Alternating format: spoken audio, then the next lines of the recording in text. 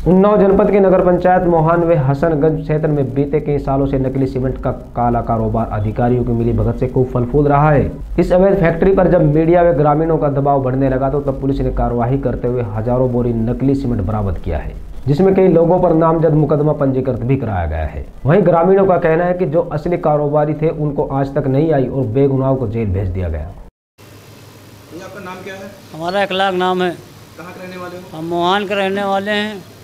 आपको कॉलोनी मिली थी? हमको आवास मिला था मोहान में ढाई लाख का आवास मिला था। हम आरपी ट्रेडर से सामान लिए हमारा छज्जा गिर गया पूरी छत बह रही है। अभी एक दिन खाली पानी गिरा हुआ है तो उसमें भी छत पूरी बह रही मेरी। छज्जा तो गिर ही गया है मेरा। पूरा सामान गड़बड़ था गड़बड़ ना होता छज्जा क्यों गिरता पूरा? सामान में क्या गड़बड़ था? सीमेंट सीरीमेंट गड़बड़ था? नकली सीमेंट था क्या? अब ये नकली सीमेंट होगी ज़रूर। ऐसा जब भी तो होगा सब। गिर गया सब। पूरा गिर गया सामान आपने कम लगाया बनाने में नहीं सामान पूरा जितना बताया गया उतना मा- माल लगाया हमने। कितने सामान लिया था? सामान लमसम पूरा सामान वहीं उठाया हमने। किसकी दुकान से? अर्पित अर्पित टेटर के। मालिक कौन है इसका? पप्पू गुप्ता। तो क्या ये नकली सीमेंट बेचते हैं? अब ये हाँ भैया हमको नहीं मालूम श्रीमन गड़बड़ थी। सबने जो जाँच किया गड़बड़ ही बताई। मिस्त्री ने बताया गड़बड़ है श्रीमन राख उसमें। हाँ राखी समझो उसको। तो आपने शिकायत किया किसी अधिकारी से? हमने सब कहीं शिकायत की आसंगंज गए डीएम पास गए डीएम पास गए सबके पास गए हम। कोई सुनवाई मेरी नहीं हो रही। सुनवाई नहीं हो रही? नहीं कोई सुनवाई नहीं। है अगर आगे सुनवाई नहीं हुई तो क्या करोगे फिर आप? आगे हम आगे और कार्रवाई करेंगे कहीं भी जाके। कुछ दिन के अंदर हफ़्ते पंद्रह बीस दिन में उनके स्लेब गिर रही किसी छज्जा गिर रहा है। कौन कौन लोग हैं जिनका नुकसान हुआ और सामान कहाँ से खरीदा गया? यहाँ पे एक इमाम चौक पे पहले मकान में स्लेब डाली गई। जो उन्नीस दिन के अंदर खुली, उसका छज्जा अचानक गिर गया। वो गरीब जो प्रधानमंत्री योजना के तहत अपना मकान बना रहा था, उसकी उन्नीस दिन में स्लेब गिर जाएगी।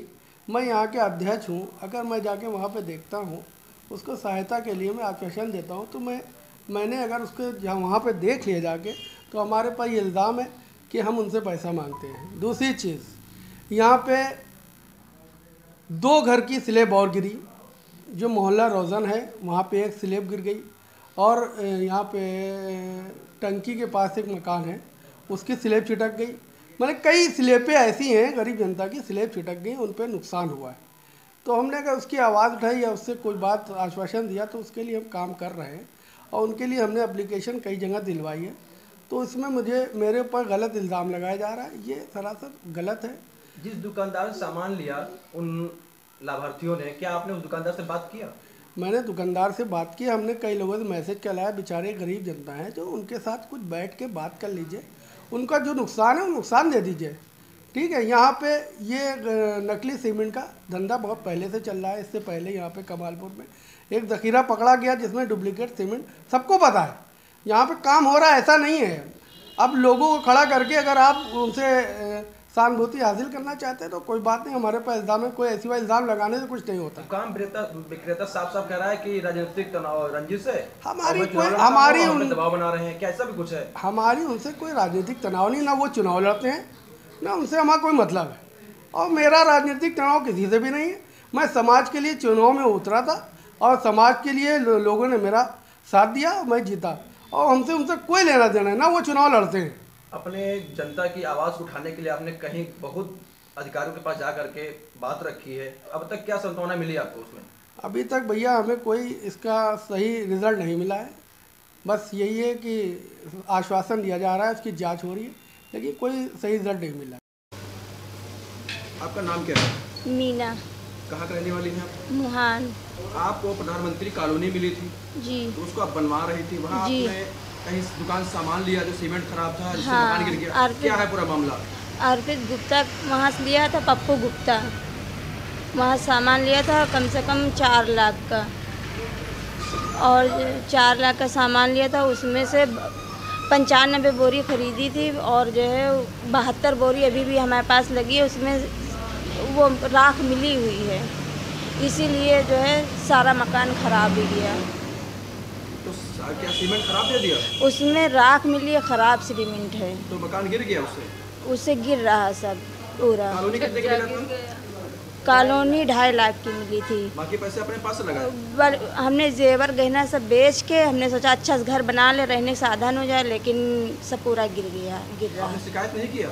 शिकायत किया हसनगंज में किया मोहान चौकी पर किया सब कहीं किया लेकिन कोई सुनवाई नहीं हुई। चेयरमैन साहब से नहीं कहा आपने? चेयरमैन साहब से भी कहा था। आपके यहाँ सीमेंट नकली बनती थी बहुत पहले? हाँ बनती लेकिन हम लोग को पता नहीं था। वही सीमेंट है क्या ये? वही सीमेंट है। भैया आपकी दुकान किस नाम से है और आपका नाम और पूरा परिचय क्या है? हमारी दुकान अर्पित ट्रेडर्स के नाम से है। हमारा नाम है पप्पू गुप्ता। मोहान के हम निवासी हैं जन्मजात। और हमारे बाबा दादा भी यहीं से रहते और बिज़नेस करते आए हैं। किस चीज़ की दुकान है आपकी? हमारी सरिया सीमेंट गिट्टी मोरंग की है। आपके क्षेत्र में मोहन क्षेत्र में काफ़ी लंबे समय से नकली सीमेंट का कारोबार चल रहा है कई बाहर से लोग आके काम कर रहे थे। तो क्या जानकारी में था कि कौन लोग कर रहे थे कहाँ कर रहे थे? वो कमालपुर के लोग थे। वो जो है बाहर के ठेकेदार आते थे वो उसमें जो है बनवाते थे अपने ठेकेदारी काम कराते थे। और वो जो लोग चले गए उनको वो फैक्ट्री भी पकड़ गई थी। सब तो तब से तो कोई काम कर नहीं रहा यहाँ। है। पुलिस कार्रवाई की है। बंद हो अब तो काम बंद है करीब चार पाँच महीने से नहीं हो रहा है। आपके क्षेत्र में कई सारे मकानों की शिकायतें आई कि लोगों ने सामान खरीदा सीमेंट ले गए यूज़ किया किसी का नुकसान हुआ छज्जा गिर गया। तो क्या जानकारी में था आपके मामला ये हाँ हमारी जानकारी में आया मगर वो जो है मटेरियल कम मिला रहे थे। और इसलिए उनका एक आदमी का छज्जा गिरा नहीं लटक गया। उसमें उसने सात फुट की दीवार उठा दी और चार सौ स्क्वायर फीट में केवल एक कुंटल चालीस किलो सरिया डाली और उस तीन फुट का छज्जा निकाल दिया। उसमें उसने जो है सात फुट ऊपर दीवार उठा दी इसलिए छज्जा झुक गया और दूसरी कोई शिकायत नहीं आई। आपके यहाँ जिन दुकानदारों ने आपने जिन जिन ग्राहकों को सामान बेचा क्या उनका कोई नुकसान हुआ? किसी का कोई नहीं नुकसान हुआ। तो और समय से आपके क्षेत्र के चेयरमैन है। आपके ऊपर ब्लेम कर रहे हैं, कई कस्टमरों ने कहा कि सीमेंट लिया, नकली सीमेंट दे दिया और मकान गिर गया हमारा तो क्या मामला है? चेयरमैन साहब, आपके ऊपर इस तरह आरोप लगा रहे क्यों लगा रहे हैं? चेयरमैन साहब, इसलिए आरोप लगा रहे हैं क्योंकि मैं भाजपा का कार्यकर्ता हूँ और मैं यहाँ जो है चेयरमैनी का चुनाव लड़वाता हूँ, लड़ता भी हूँ। इसलिए वो रंजिश मानते हैं। पिछले चुनाव में हमने भाजपा का ही सपोर्ट किया था ये हमारे पर कई बार दबाव बनाया कि आप हमारा काम करें। तो हमने कहा हम आरएसएस के आदमी हैं हम आपका काम नहीं कर पाएँगे। इसलिए ये वो रंजिश मानते यही जो है अफवाह अपने आदमियों से फैलवा रहे हैं। चेयरमैन साहब भी भाजपा से ताल्लुक रखते हैं? नहीं भाई चेयरमैन साहब कोई भाजपा से नहीं है तो कांग्रेस के आदमी हैं कांग्रेस के। लेकिन अब तो बोर्ड बैनर लगाए हुए हैं भाजपा अब तो ये केवल कोई ना सदस्य हैं न कुछ है केवल ऐसे लगाए हुए हैं। न पार्टी के कोई सदस्य हैं न पार्टी के कोई कार्यकर्ता है न पार्टी में इनका कोई पद है। कहीं न कहीं देखा जाए तो चेयरमैन हिंदू मुस्लिम के विवाद को बढ़ावा देने का प्रयास कर रहे हैं। हाँ चेयरमैन का यही नज़रिया है कि यहाँ पर जो है एक विवाद पैदा हो जाए जिससे हमारे आने वाले इलेक्शन में हमको उसका प्रॉफिट मिले। कहाँ के निवासी हैं? मुहान के। आपको कॉलोनी मिली थी? हाँ ढाई लाख ढाई लाख की। बनवा लिया पूरा? बनवा नहीं लिया था स्लेब पड़ रही थी। और बस जरा देर में स्लेब सब फटने लगी। तो हम उनके पास फ़ोन किया वही पप्पू गुप्ता के पास कि ये जो है अपना सीमेंट देखो है कि कितनी तुमने खराब हमको दे दी। तो कहीं कि हम तो नहीं आएँगे हमारी सीमेंट भरवा के भेज दीजिए। तो हम कैसे कैसे हमारा मटेरियल फंसा है? हम ऐसे सीमेंट नहीं भेजेंगे। तो फिर पैसे वापस किए आपके नहीं नहीं कुछ नहीं वापस की।